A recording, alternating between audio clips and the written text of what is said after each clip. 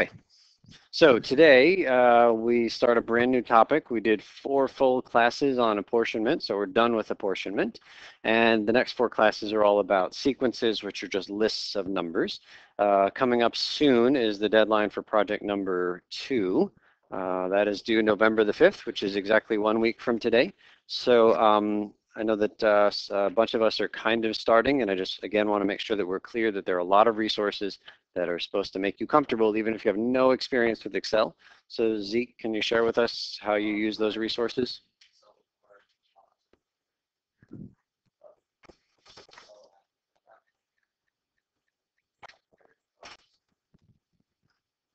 Okay. Thank you.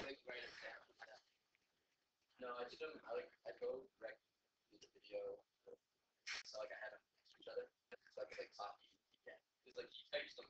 Word document right into Excel, so you just have to do it like.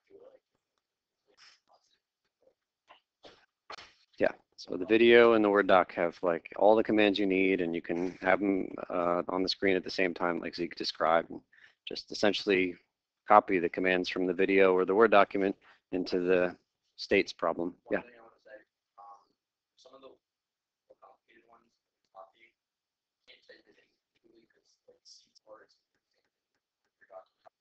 You have to put the correct column onto that. And just copy. Yeah. So and a bunch of the things you'll do in the project makes references to where the particular numbers live and where they live in the project you're doing about the states might be a different cell than in the project I show on a video, right? And so on my project, maybe I'm saying, okay, this is the number we want and it's in cell C4, but you got to update that with wherever the information is in the project where, where your cell is, right? But definitely get started if you have not started yet. So that's due one week from today. And that is that. All right, so let's jump in on page 31. We'll come up here to the top and uh, we'll start with Ricky for one. Suppose you have a round, flat cake. This is mathematical.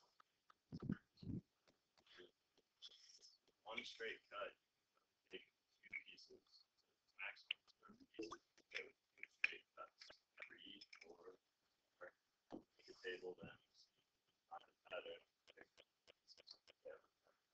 Okay, so here are our bird's eye views of uh, the same cake, but uh, cut in four different ways. So when we have one cut through the cake, that's this blue line, how many pieces of cake are there?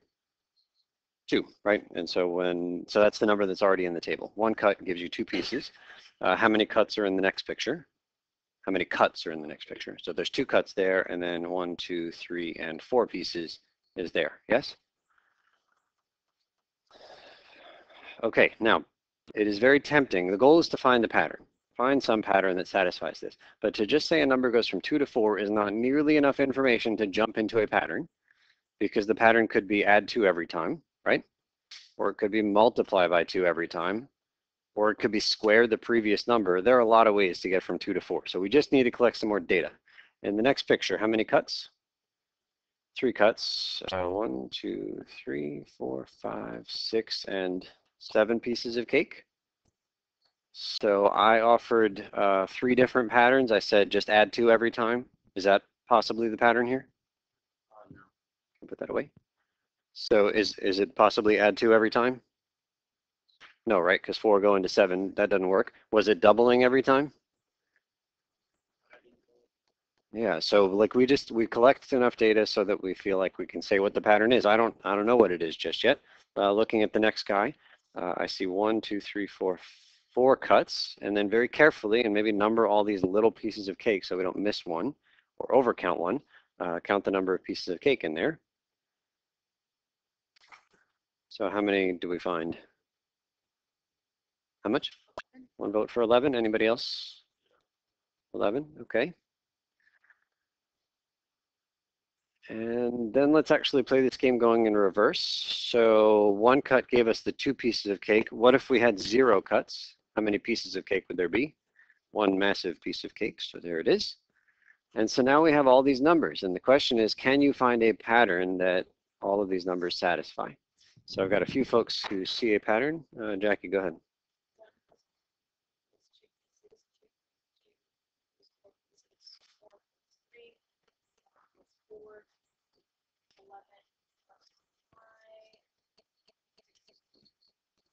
Okay, so Jackie says this is the pattern, is that if you go in between two numbers, uh, the way you get from one to the next is by adding the next number in this list in purple. So add one, add two, add three, add four.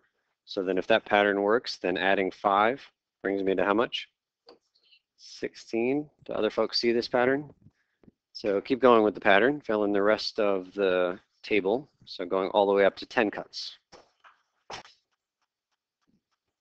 Okay, so we fill in the table all the way up to 10 cuts, giving you 55, probably very small pieces of cake. All right? So that's our pattern, and that right there, that, that list of numbers in the bottom row is called a sequence of numbers. It's just a list. It happens that there's a nice pattern in this list, but there doesn't even have to be a pattern. A sequence is just a list of numbers. So in the next few classes, we will study these lists of numbers. Uh, let's go to number two for Tony.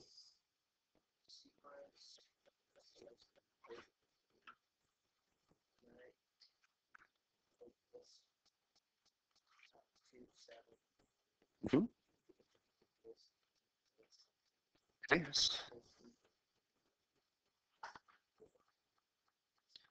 Right, so your, your sequence might just have three numbers in it, or it could go forever, infinite or finite sequence. Uh, some notation, let's go to Monica. Um, you usually need sequence to the letter. for example, Right, it's two, four, six, eight with the letter A. Six, eight. And then you turn, uh, you put letter A with subscript. Subscript tells us where to look, where in what. So if I ask you what A three is, you would answer second. Okay, so the idea here is that A1 is the first number in this sequence, and then A2 is the second number, and A3 is the third number, and A4 is the fourth number. And so if I asked you for A5, I'm asking you for the fifth number in that list, but you have to continue the pattern to see what is A5.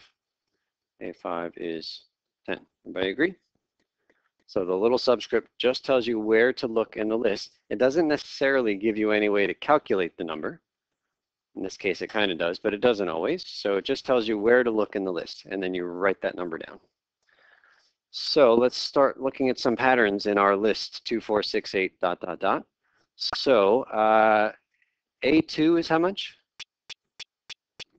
A2 is 4, right? And how much is A1? It's 2. So what can I add to A1 to get A2? Yeah, how much can I add? It is A1. It's also 2, right? So this says if you want to get to A2, you take the previous number, A1, and you add 2. Yeah, I want us to write 2 because that's going to be the consistent thing in this one. But A1 is also correct.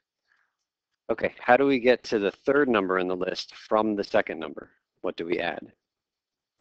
We add 2 again. Do you guys buy it? In fact, this is just a general rule. If you want to know what the next number is, you look at the previous number and you add 2. Uh, okay, so my uh, quality up here isn't very good. What does this last guy say? AN. Great. So this is the more general thing. And what we want to do is write down the same kind of pattern, which is to say take the previous number and add 2. Okay, so adding 2 is easy enough. That, that just goes there. But now we need notation that says the previous number without actually writing the phrase the previous number. So definitely A because it's some number in the list. It has to n minus 1. That's it. We buy that? It's a little bit of a leap there. So n tells you where to look in the list. You're looking at the nth number, whatever that is. So if you're standing on the nth number and you want to look one number before that, then it's n minus 1. We see that? So this is always how we'll say something like the current number. And then this guy right here is the previous number.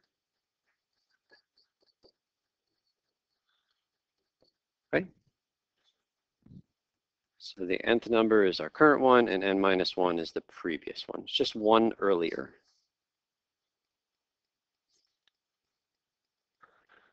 Okay, let's think of a different way to get this list of numbers, 2, 4, 6, 8, etc. So here in the bottom, A1, how much is A1 again? It's 2, first number. And, and 2 is really 2 times how much? 1. Okay, that's fair enough. How much is A2? It's 4, which is really 2 times 2. And then A3 is really how much? It's 6, which is 2 times 3. So do we buy this as a different way to think of the list of A's? Is to just double whatever the little subscript number is? Right, because A4 is double 4, and then I'm assuming this last one also says AN. So what are we doubling in this case? It's, is it N or N minus 1? Just N, yeah, look at the pattern. A4 was 2 times 4, right? So the purple 4 matched the little subscript 4. Little 3 matched the subscript 3. Jeff, how are we doing? So this is really a different way to think about this list of numbers. The way that we wrote up here in red said if you want to know the next number, you add 2 to the previous number. So starting at 2, if we add 2, we get 4. If we add 2, we get 6. If we add 2, we get 8. A different way to think about that same list of numbers is to just say whatever number you want in the list, I give them subscripts, A1, A2, A3, and A4. Whatever number you want in the list, you just multiply 2 by the subscript. So I could get the number 8 directly by just doing what times what? 2 times 4, which doesn't rely at all on knowing that the previous number was 6. Agree? This is really a different way to think about the getting the, the numbers. Okay, next page. Oh, I think, did I skip a definition here? I did. Uh, sorry, between five and six, we need to read some vocabulary. Let's go to Suan. Uh, this is called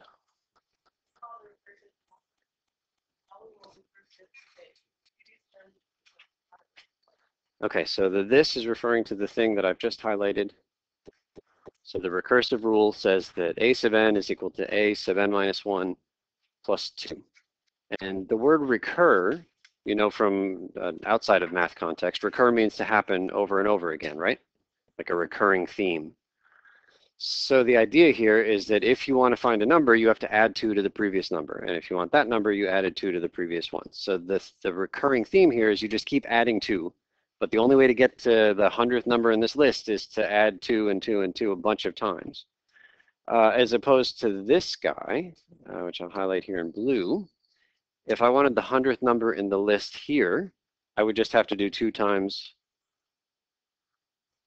two times 100, right? If I want the hundredth number in the list, I can just get it directly by doing two times 100, which is 100. And so that has a different vocabulary name associated with it. Let's go to Jackie.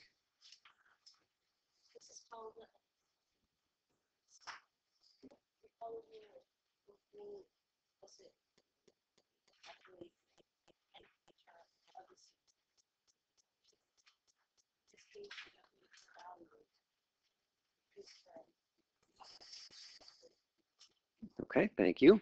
So let's take a look at this table of numbers. I'm giving you a, uh, n going from 1 to 5. Those are just counting. Those are like my subscripts.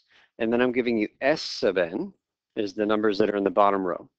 Now the notation here is the same as before. It's just this, this particular sequence is called S as opposed to the other one we studied, which was called A. It's just giving a name, but the S isn't really relevant. It's just a name for the list. So uh, can we figure out what S sub 5 is? Tony says 7.5. Agree, disagree? Tony, how did you get 7.5?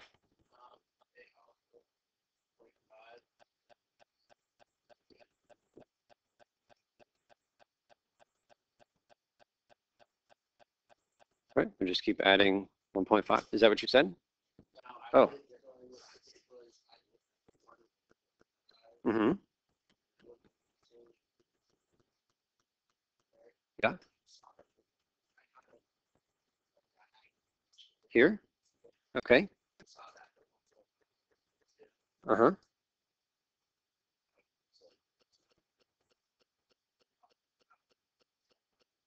Yeah. Yeah, it's totally fine to go diagonally. Uh, I'm not sure which pattern you, I can't see the pattern that you're seeing because because I, I see the first diagonal goes up by 0.5, but the next diagonal seems like the numbers are equal. Not that there isn't a pattern there, uh, just because I can't see it. Uh, okay, so somebody else, how do we get 7.5? Okay, so we see that there's a consistent difference here because we can just keep adding 1.5 over and over again, which gives me seven and a half in there. Fair? Okay, so we just found this one, and let's use good notation here. So start getting used to writing a letter and then a little subscript down below equals 7.5.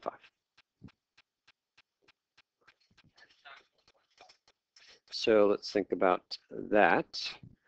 Uh, can we just look at the pairs of numbers in the columns and find a different rule that just tells you how to get from the top number to the bottom number? And Zeke is saying if we multiply the top number by how much? 1.5. Then we get the bottom number. So let's see if that's true. Uh, if we multiply 2 times this consistent 1.5, what do we get? We get 3. That works. How about 3 times the 1.5? That's 4.5. And then 4 times 1.5 is 6. And so that would be another way to go from 5 to 7.5 is to multiply by 1.5. So we're going to write down uh, both of these ways. So uh, let's just quickly fill in s sub 0, though. How much is s sub 0? Yeah, it is 0. Either subtract 1.5 from that first number or um, multiply 0 by 1.5 to still get 0. Okay, so now things get tougher because we're going to write down these very general formulas here.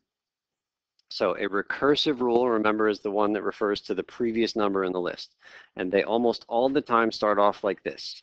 S sub n is equal to S sub n minus 1, and then we got to put some further instructions. But recursive almost all the time starts looking like that. So in English, what I have so far is that if you want to get the, the current term, you take a look at the previous term and you do something, and we got to figure out what the something is. What do we do to the previous term to get the current one?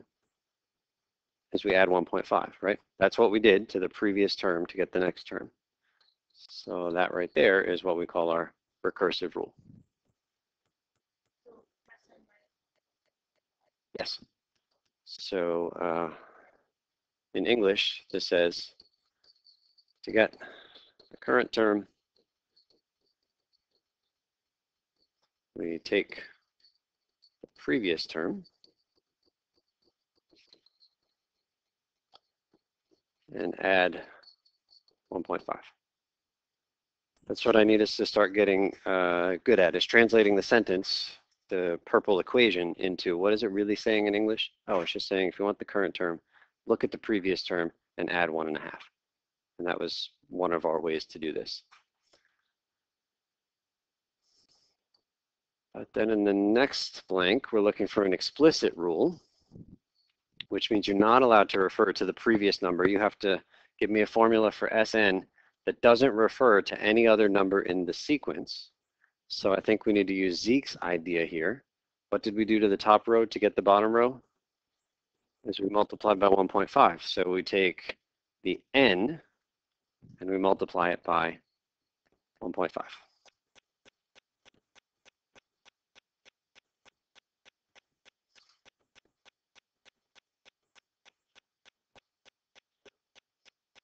Okay, are we clear on the difference between the recursive and the explicit rules?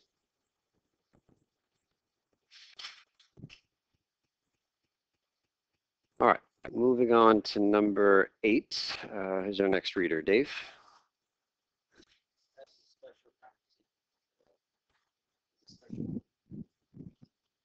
It should say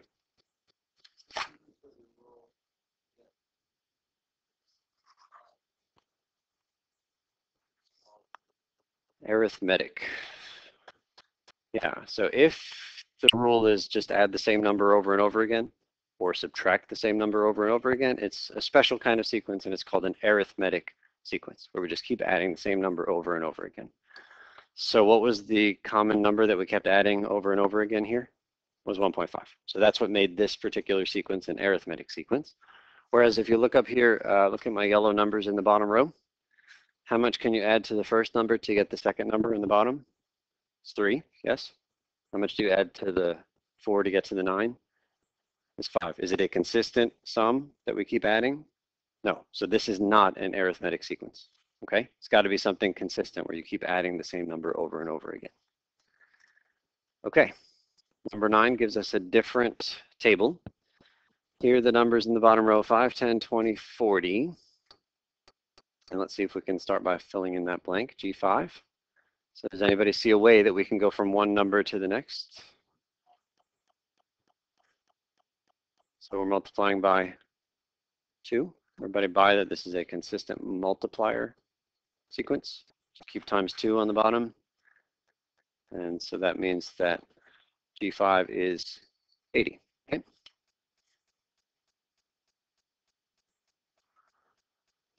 Okay, so that's all well and good. How about G0? It is 2.5 because if multiplying by 2 gets you further to the right, then if you want to go one spot to the left, you better divide by 2. So take that last, the first number, 5, and divide it by 2, and we get 2.5. Okay, so far so good. We're now going for the recursive rule. What I mentioned before still holds true. So can you write down the beginning of the recursive rule, even if you don't have the full thing? But there should be some symbols equals some symbols. And like I said, it almost always starts the same way. What's the first symbol? It is g sub n equals gn minus 1 and then further instructions, right? So it's always got to say, to get the current term, do something to the previous term. So that n minus 1 is just so common. And our, yeah, our rule here was to take the previous number and multiply by 2. So that's the recursive rule. Ricky. So the n minus 1 is just our way of saying if you want to go to a term that we're calling n, you need to go one term prior. okay, so that's the recursive rule and it's fine. In this case, it turns out there's also an explicit rule, even though it might not be as clear as in the previous example. So I want to know, is there something that I can do to the number 4 that will give me the number 40? Well, I mean, I, I could add 36, but that's probably not a consistent thing. I could multiply by 10, but that might not be a consistent thing either. So we need a consistent rule that will get you from the top number to the bottom number.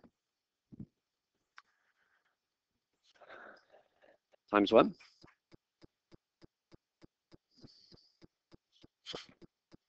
Yeah, this one's a lot tougher.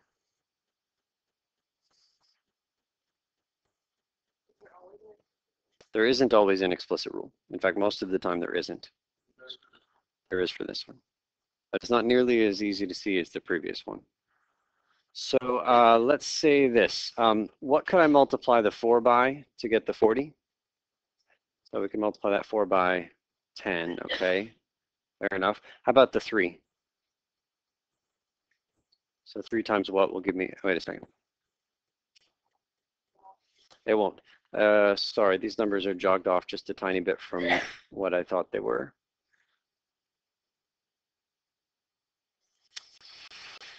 Okay. Um, um, um.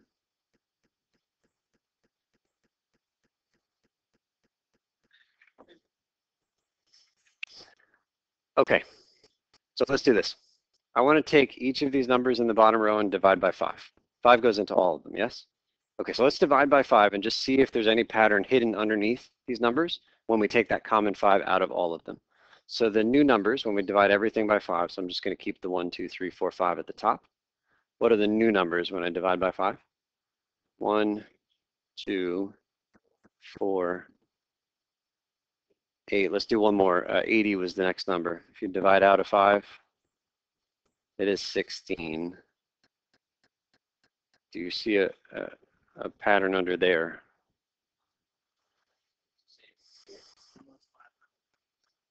Yeah, so so we could still see it as multiplied by another 2 because that's what these numbers are, just multiplied by another 2. But if we translate these numbers one last time, uh, 8 is really 2 to what power? 8 is 2 to the third, right? 2 times 2 times 2 is 8.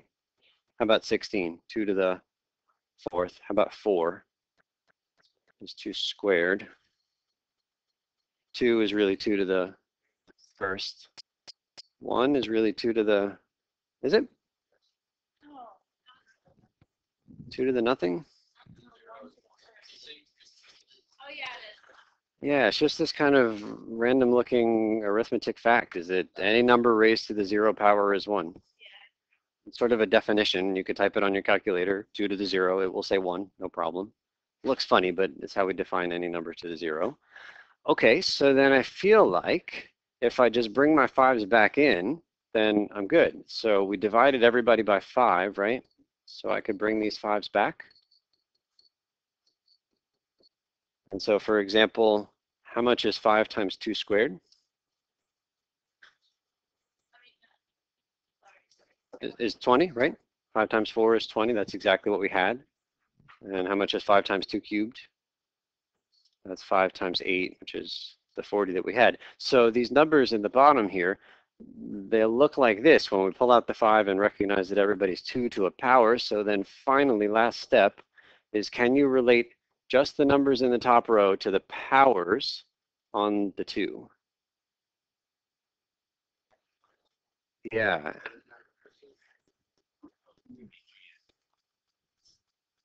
Yeah, it seems like these powers on the twos are just off by one from those numbers in the top row. So I think we can write down our formula here, which says the following.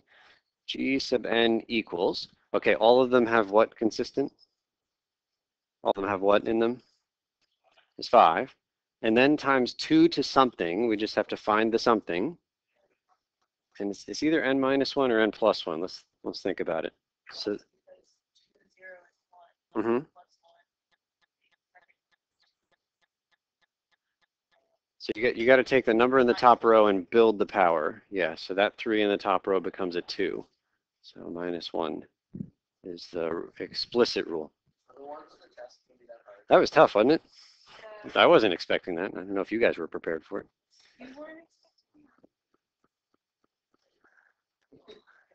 Okay, so what we can see is that oftentimes if there's a recursive and an explicit, the explicit is uh, much harder to find. That is not uncommon, is that explicit rules are very hard to find. Okay, let's move on to number 10. Right now we're just still kind of gaining comfort with the symbols. Uh, we're going to uh, Sam. 10? Yes.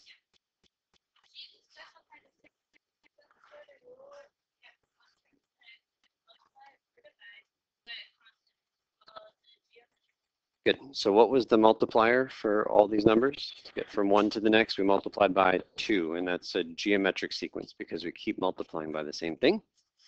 Okay, so here's what we're going to do. We're going to move on to the next page, and there's this thing called uh, traffic jam. So this will be the first part of the activity, but let's make sure we're all aware of the rules of this game. So here's the idea. We have uh, these three guys on the right-hand side and three guys on the left-hand side, and they basically want to change places. The guys on the left want to end up all the way, the guys on the right want to end up all the way on the left, and these three guys on the left want to go all the way to the right. And so here are the rules of the game. Each of them is basically standing on a like a platform, and uh, what you're allowed to do is take one step forward if the platform in front of you is open, or you could jump over somebody if the platform just on the other side of them is open. So you can, it's like checkers. You can either move one square or you can jump over as long as that person is right in front of you and there's an available platform. And doing just those moves, we're allowed to, we're, we're going to be able to get these guys to trade places. You can't ever go backwards. Um, and so we're going to play this game. But before we play it with the three people, let's play an easier version on the next page with two people. So I'm going to give you guys some markers uh, that you're going to use for people. Uh, let me zoom out just a tiny bit here. Okay.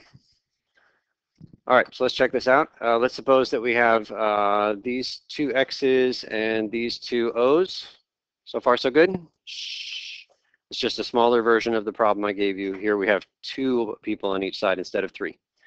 Okay, so all we want to do is switch these guys. So one thing we can do is uh, take this last guy, and what can I do? How can I, what's the only way I can move this bottom guy?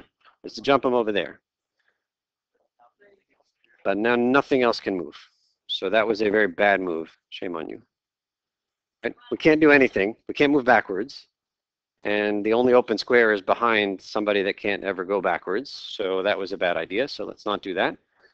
So how about we move this guy up to there?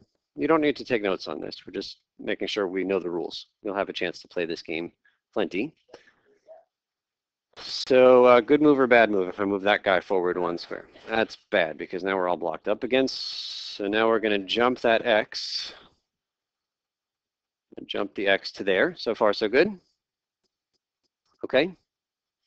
And now you have two choices. Just make sure everybody's clear what the two options are. What are the so you can jump anybody over anybody as long as they're right next to each other and heading in the right direction. So I could move the O up. That's one possible move. Or I can move the X down. Those are the only two moves, right? Okay, so let's try one. We're going to move that O up. Now there's only one possible move at this point. What is it? It is to jump that X. And now there's uh, still another move left. What can I do? I could move the O up and then finally he's home, but then we're stuck. So that wasn't such a great thing to do. So let's put this guy back and we'll put this guy back. So what's the right move now? We got to move that X down. If we move the O up, we ran into trouble. We, we, we went down that branch. So we're going to bring this guy down. Now what's the only move? We're going to jump that O. There's two choices here. You can move the X down or jump the O. Jumping the O is a good idea. So let's jump the O. Then this X can go home. And then we can jump the second X. And then finally move the O up.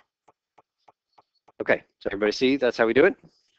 Okay, here's what I want us to do. In addition to just being able to get these guys to all swap, I need to know how many moves it takes. That's what we're really doing. So we didn't count here, so you guys are going to have to replicate this on your tables. But a move is either walking somebody forward a step or jumping somebody. Those are the two kinds of moves. And we just have to count how many total moves there are. You don't need to separate those moves, okay? So I'm going to give you guys some pennies and some dice, and you're going to play this game with uh, first one person on each side, then two, then three, then four.